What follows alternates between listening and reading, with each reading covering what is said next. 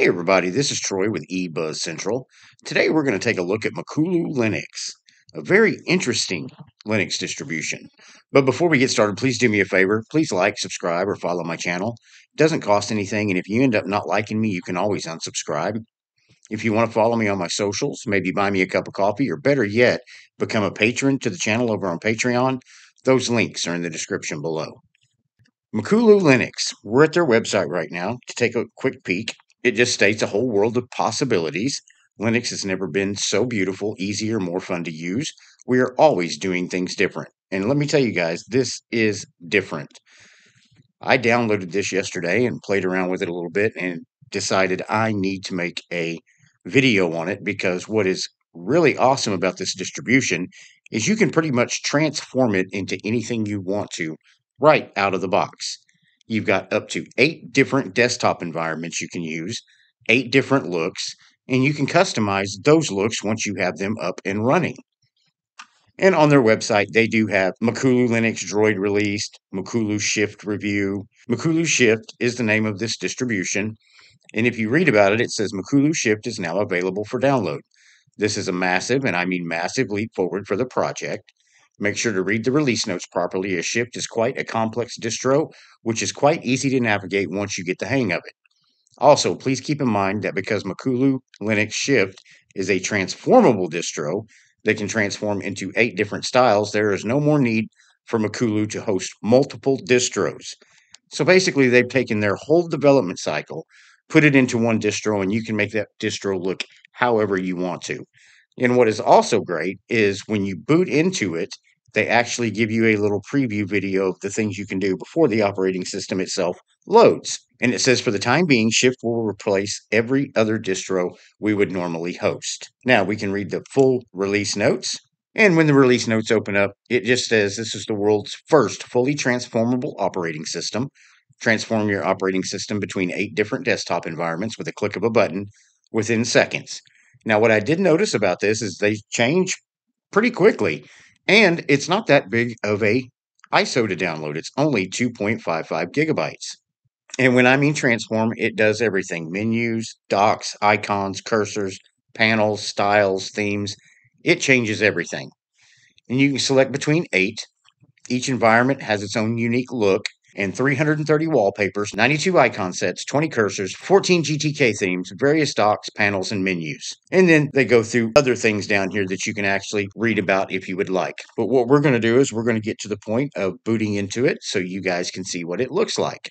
And it's getting close to the boot now, so you can see the intro video that shows you all the different desktop opportunities you have with this distribution. And it tells you a little bit about being able to change the layouts, the docks, the panels, the icons, backgrounds, cursors, menus. And it says, let's take a closer look at Shift.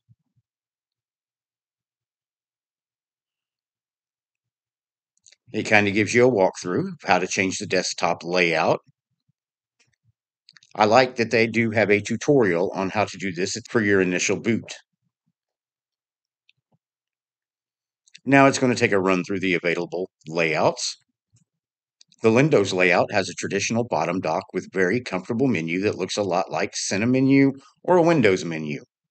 Then you have the Flash layout that has a very traditional bottom panel and Whisker Live menu with plenty of transparency.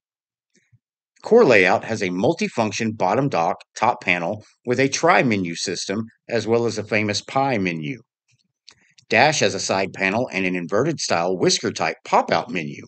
It also sports some nice futuristic wallpapers. Simple Layout sports an old style GNOME menu, loads of transparency. The GNOME style layout feels like an upside down GNOME with the bottom panel and full screen menu, but don't be fooled, there's a lot more going on. Unity layout gives a very familiar feel to the Ubuntu Unity desktop environment. Plasma has a bottom panel and a KDE style menu.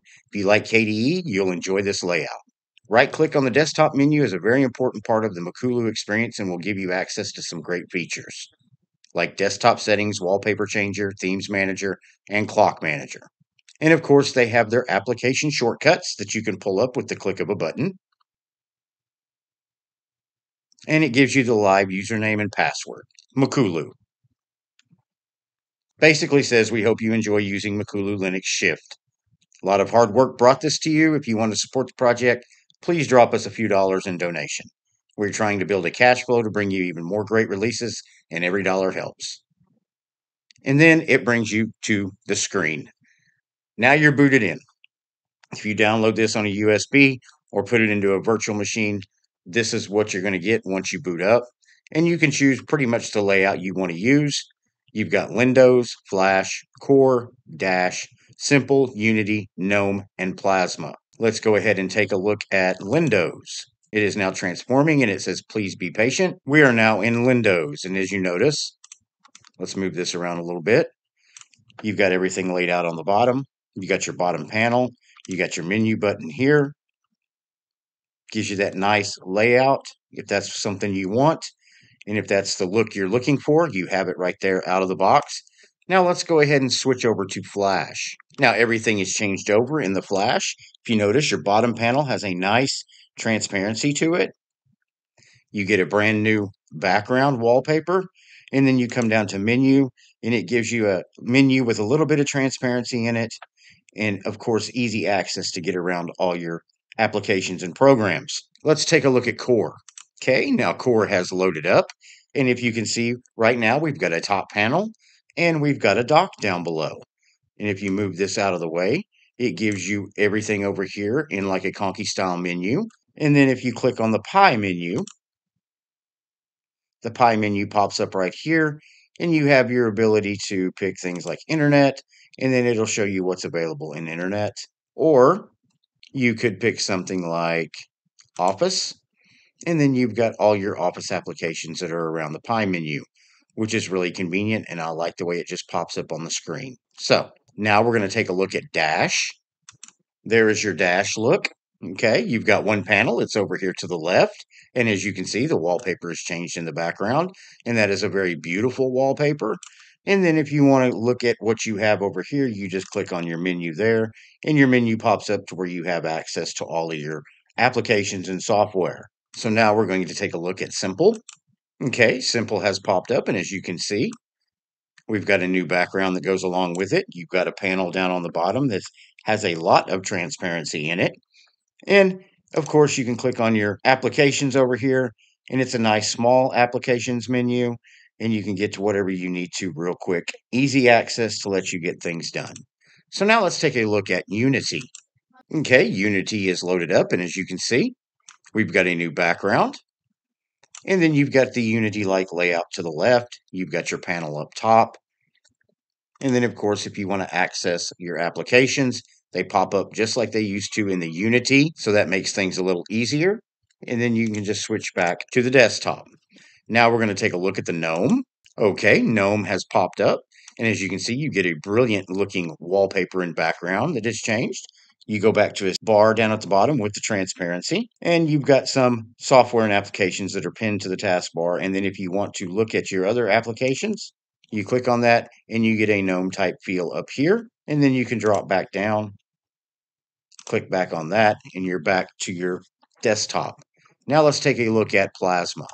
And Plasma has loaded up. As you can see, we get yet another different background wallpaper. You've got the single panel at the bottom. And then as you can tell, with all of the different looks we've looked at, most of the icons have changed because they do have different icon sets for each theme. So you click on your applications menu, then you get the Plasma launcher where you can kind of look through everything that you want to look at. Let's take a look at graphics. You've got Image Viewer, My Paint. So that is eight different looks for one operating system out of the box. What I'm going to do right now is go ahead and change back to Flash. Okay, flash is back up. I really like the look of that. Let's go ahead and take a peek here. You've got desktop clock. You can change the way the desktop clock looks, change the time, desktop clock, set clock color, set clock format. I want to go to 12 hours, so that changes right there. Set clock position. It's presently on the right. What if we set it to left? Of course, we'd have to move or remove the icons on the desktop. Quotes update hourly, daily. Interesting quotes hourly. A memorandum is written not to inform the reader, but to protect the writer. Interesting. I like that. So let's close out of that. Let's go take a peek around this thing and see what all it comes with. Under accessories, it comes with extensions, GNOME-Pie, LeafPad, Play on Linux, search for files, variety of wallpapers, Warpinator, weather, Winetricks, graphics, image viewer, my paint, internet. You got Discord, Google Chrome, Popcorn Time, Office. You got the WPS Office Suite, calendar, contact, sound and video, Pulse Audio, Popcorn Time, MPV, Hypnotix, System Tools, BleachBit, Desktop Layout Manager, which we what we were just looking at a while ago.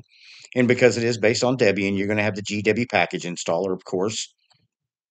Keyboard and layout, main menu, packages, just another way to install software and applications. It comes with Synaptic Package Manager and comes with Timeshift, utilities, advanced network configuration, calculator, document viewer, screenshot, terminal. Let's see what kind of resources we are using. Let's see if they have HTOP. They don't. Let's see if they have top. And they do. At present, I have this machine issued 3 gigabytes of RAM at rest with the terminal open. We're at 1.2 gigabytes being used, which is a little on the heavy side, but it's something you can expect with an operating system that has so many different things you can do with the desktop. Of course, you don't need to have the conky up. You could always shut that off and you could save memory usage. But at the same time, if you're somebody that's wanting a good looking desktop and you're wanting a system that is very customizable and you can change with the click of a button, I don't think you can go wrong with Makulu Linux, obviously. Let's go ahead and close out of this. Back over to the menu. And I wanted to go back to the desktop layout manager because I think we missed some things. There is a theme manager, so you can change the theme. Let's go back. Wallpaper manager, select wallpaper. So these are all the wallpaper choices you have. There are tons and tons of very beautiful wallpapers. I'm going to say right now, uh, I want to try this one. This distribution is very impressive out of the box. I am not even going to lie. So you can come over here and pretty much shut everything on the desktop off.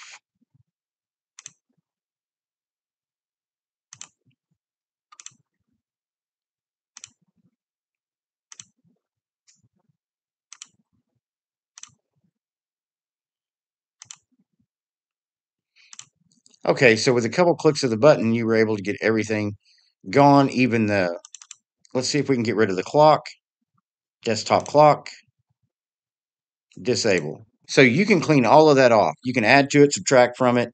You can really customize this the way you want it to look. Well, I want to go back over. Let's see if we can find settings, see what we have under settings. Okay.